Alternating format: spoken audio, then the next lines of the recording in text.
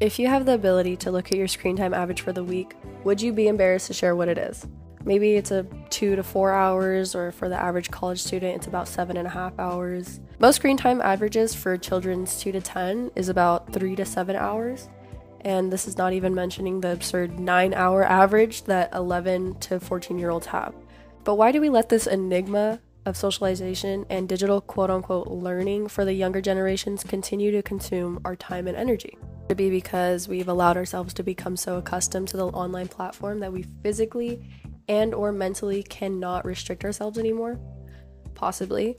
But I'm not here to solve all the issues pertaining to social media, and instead, I want to shed a little light on what you can do to cut down on those habits of using social media, as well as share some of my own experiences with doing such. If you find yourself needing to step away from the screen, you'll need to find something to put your new free time towards. Whether it's going on a run, or if you don't run, maybe even going on a walk, or if you think that's boring, you can always listen to music. I feel like too many people nowadays are trying to create excuses for everything to avoid it, and it doesn't even have to pertain about what I'm talking about for all of you procrastinators out there and calling you out.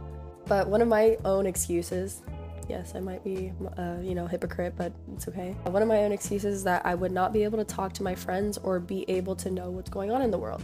First off, I came to the conclusion that I have my friends' numbers and they have mine as well. So there's no there's no question about that. And second, if the news was important, I would hear it by word of mouth.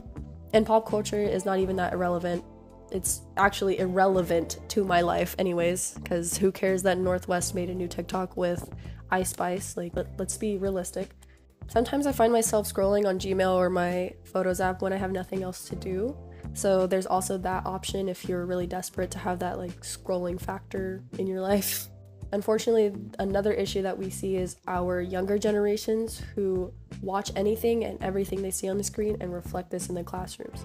We see teens feeling the need to change everything about themselves every week, and we also see adults wishing that they had a different life. I'm not saying that you deleting or cutting down on social media will solve everyone's problems or even our societal problems, but you can agree that the entertainment aspect of social media is not benefiting us either. I've had days where I spent most of my time consuming all different types of media just, you know, on the couch all day. And I wouldn't even be able to remember what I had to eat yesterday. It honestly can get that bad if you let it get that bad. Something else that doesn't have much to do with the use of social media and instead accountability the way that social media has brought attention to cheating. I know that you have done it, and I know that I have done it. Uh, not here at UCSD, of course, although that's too risky. Um, please don't revoke my admission. I'm unsure of the research on this, but I sense that cheating is becoming more and more prominent within our younger generations because we are spending too much time on your phone. We can make the excuse that there's no more time in the day to do this assignment or study when in reality it's all because we spent our time on social media. But hey, if you're cheating and you are giving into that risk, I don't know what else to tell you. To wrap it up, I wanted to share about how no one knew about the different types of effects that digital media could possibly have on an individual. So, when my siblings and I were growing up, we would play these little mindless games on sketchy websites that probably had viruses. I didn't know anything about a virus at the time, so the other half of the time I would watch these small assortment of YouTube videos that were available in 2010. There were not many, let me tell you, there was like maybe five YouTubers. Eventually, my nine year old self would create an account on Facebook out of curiosity, and that's where it all started, really.